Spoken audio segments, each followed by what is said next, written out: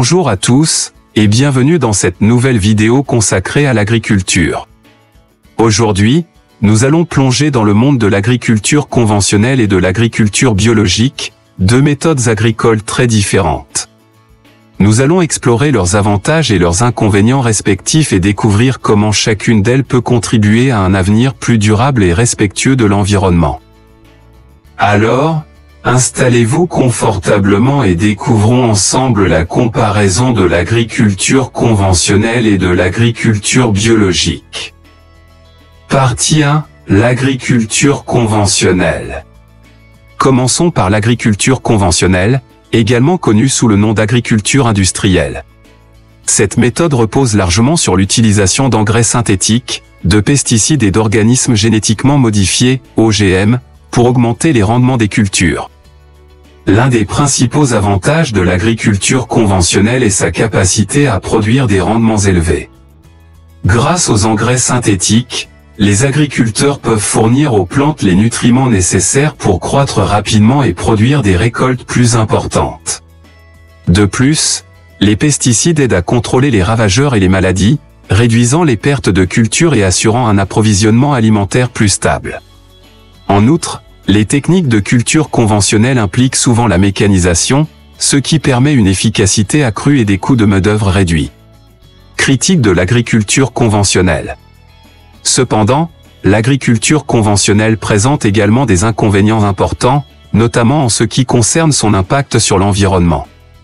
L'utilisation d'engrais synthétiques et de pesticides peut entraîner la dégradation des sols, la pollution de l'eau et la destruction des populations d'insectes bénéfiques. De plus, la dépendance à la monoculture, où de grandes surfaces sont plantées avec une seule culture, peut entraîner une perte de biodiversité et augmenter le risque d'échec des récoltes en raison du manque de diversité génétique. De plus, l'utilisation des OGM dans l'agriculture conventionnelle suscite des préoccupations quant aux éventuels effets à long terme sur la santé humaine et l'environnement. Partie 2, l'agriculture biologique. Maintenant, tournons-nous vers l'agriculture biologique. Cette méthode met l'accent sur la préservation de l'équilibre écologique, la conservation de la biodiversité et l'amélioration de la fertilité du sol, tout en minimisant l'utilisation d'inputs synthétiques tels que les pesticides et les engrais chimiques. Une pratique clé de l'agriculture biologique est l'utilisation de compost et de matières organiques pour améliorer la santé du sol. En ajoutant du compost au sol, les agriculteurs biologiques augmentent le contenu en nutriments du sol et améliorent sa structure, ce qui permet une meilleure rétention d'eau et une meilleure aération.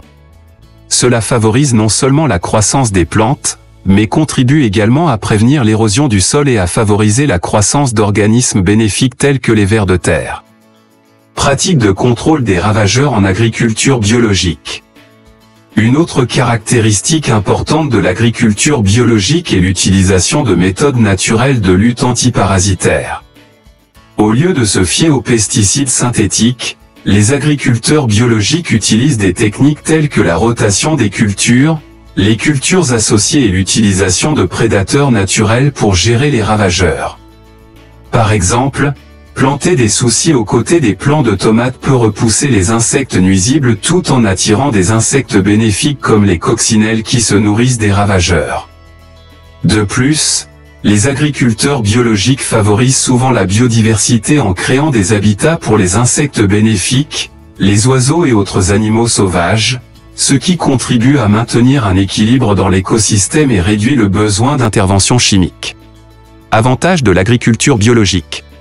En résumé, l'agriculture biologique offre plusieurs avantages, tels que la durabilité environnementale, l'amélioration de la santé du sol et la préservation de la biodiversité.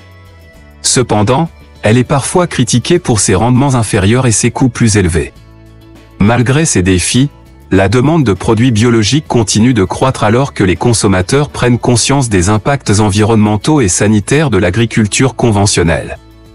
Avec des avancées continues dans les techniques agricoles biologiques, il est probable que les avantages l'emportent sur les inconvénients, faisant de l'agriculture biologique une option plus viable et durable pour l'avenir. Conclusion. Voilà, nous avons maintenant exploré la comparaison entre l'agriculture conventionnelle et l'agriculture biologique. Chacune de ces méthodes agricoles a ses forces et ses faiblesses, mais elles sont toutes deux importantes pour notre approvisionnement alimentaire et notre environnement.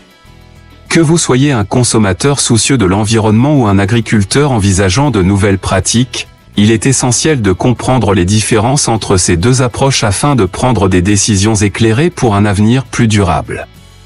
N'oubliez pas de vous abonner pour plus de vidéos sur l'agriculture et l'environnement, et à la prochaine fois.